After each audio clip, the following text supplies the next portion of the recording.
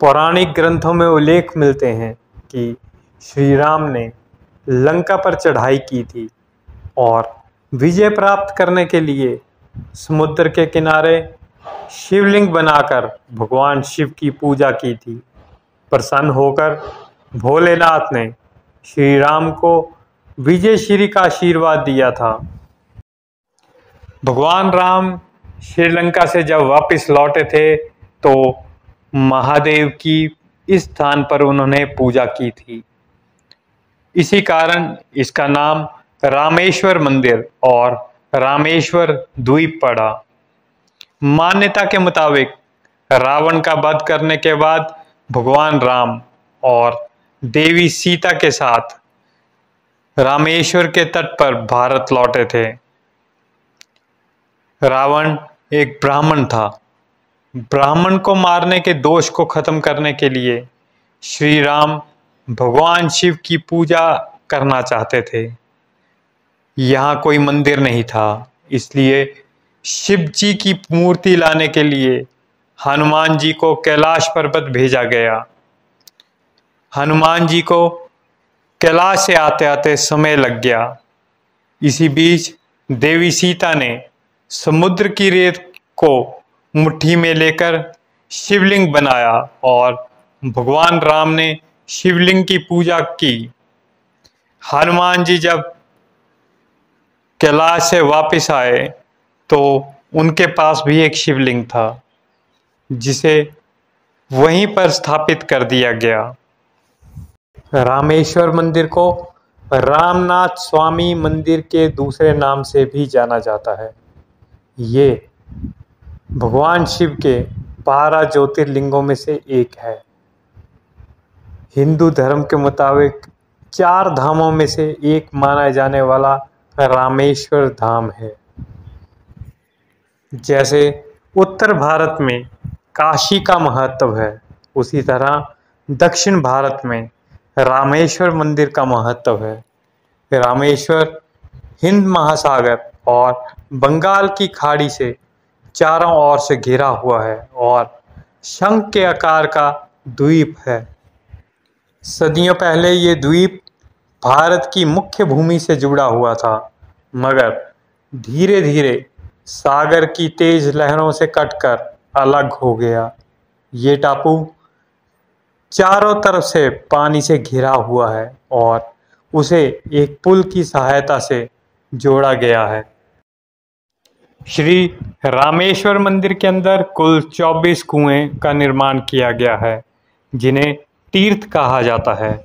मंदिर के बाहर कई कुएँ और भी हैं, मगर उनका पानी खारा है।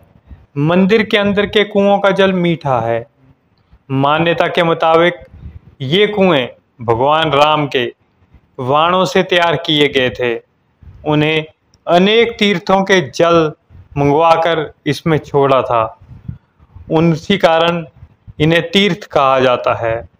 उसके नाम गंगा, यमुना, गाय, शंख और चक्र रखे हुए हैं। पंद्रहवीं शताब्दी में राजा उडैन सेतुपति और नागौर निवासी वैश्य ने 1450 ईस्वी में 78 फीट ऊँचे गोपुरम का निर्माण करवाया था। सोलहवीं शताब्दी में मंदिर के दक्षिण में दूसरे हिस्से की दीवार का निर्माण तिरुमल्य सेतुपति ने करवाया था। मंदिर के द्वार पर तिरुमल्य एवं उनके पुत्र की मूर्ति विराजमान है। सोलहवीं शताब्दी में मदुरई के राजा विश्वनाथ नायक के अधीन राजा उडायन सेतुपति ने नदी मंडप का निर्माण करवाया था। माना जाता है, वर्तमान समय के रामेश्वर मंदिर का निर्माण सत्तारहवीं शताब्दी में हुआ था। जानकारों के अनुसार, राजा किछावन सेतुपति या रघुनाथ किलावन ने मंदिर के निर्माण में मुख्य योगदान दिया था। रामेश्वर मंदिर में एक आकर्षक वास्तुकला दिखाई देती है, जो दुनिया भर के पर्यटकों को आकर्षित करती है। दक्षिण भारत के सभी मंदिरों की तरह ऊँची दीवारें मंदिर को चारों तरफ़ से रखवाली करती हैं। दीवार पूर्व से पश्चिम तक आठ फीट और उत्तर से दक्षिण तक 675 फीट दूर है। पश्चिम में तीसरा गलियारा है, जो सेतु माधव मंदिर का मार्ग प्रशस्त करता है। उसी गलियारे की लंबाई आठ सौ पचास फीट है, जो दुनिया का सबसे लंबा गलियारा है। इस मंदिर के अंदर दो लिंग हैं। पहला प्रमुख देवता रामालिंगम है और उसे माता सीता ने बनाया था। दूसरा विश्वलिंगम, जो कैलाश से हनुमान जी द्वारा लाया गया था।